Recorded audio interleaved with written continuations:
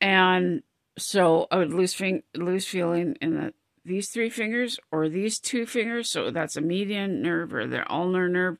I'd roll the other uh, roll on the other side.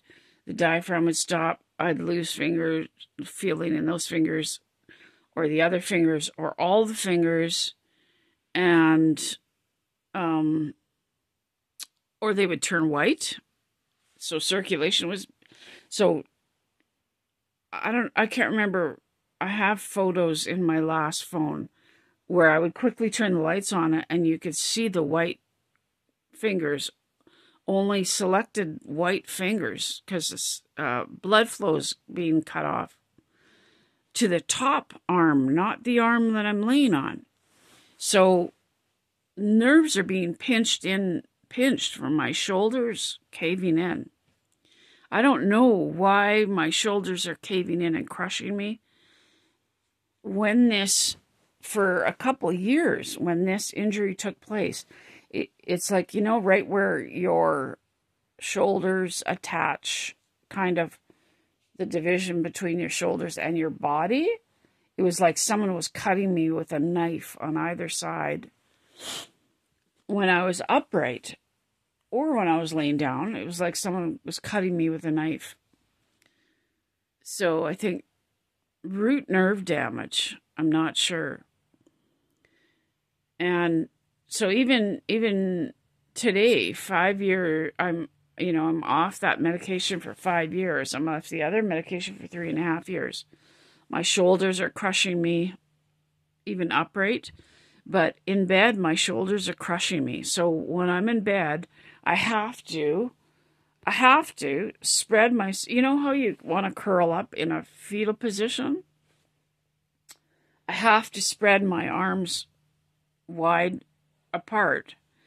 And I, I have foam stacks of foam pillows and my arms have to be supported in bed.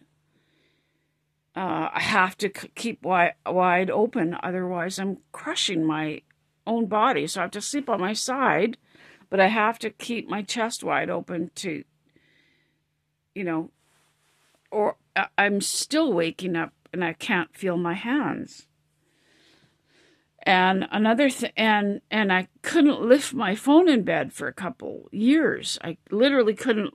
My phone was too heavy. I literally couldn't lift my phone in bed for a couple years.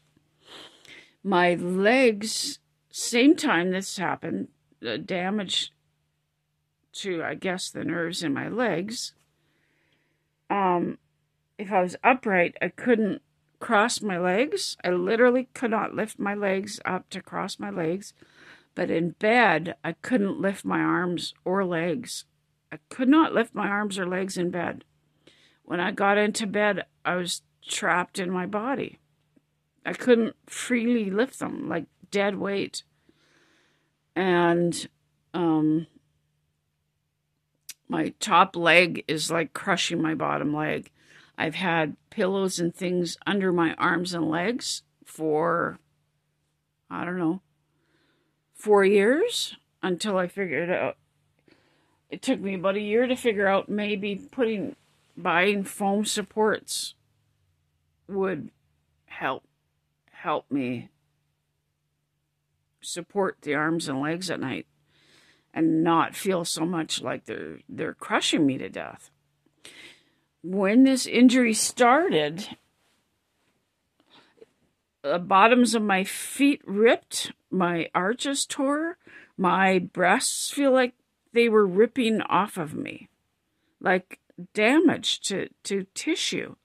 I've been sleeping with a bra on for almost five years. And at times I'll put a wire bra on to sleep in. Like I've slept with supports under my breasts.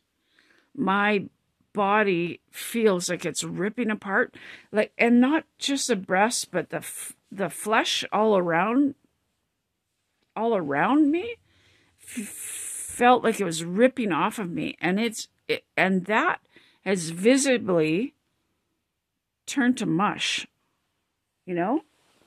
Um,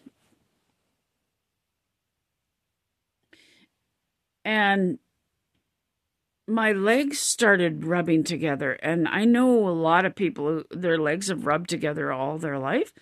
My legs are not overweight. They're rubbing together now because the muscle or the flesh has ripped away and become lax or or atrophied.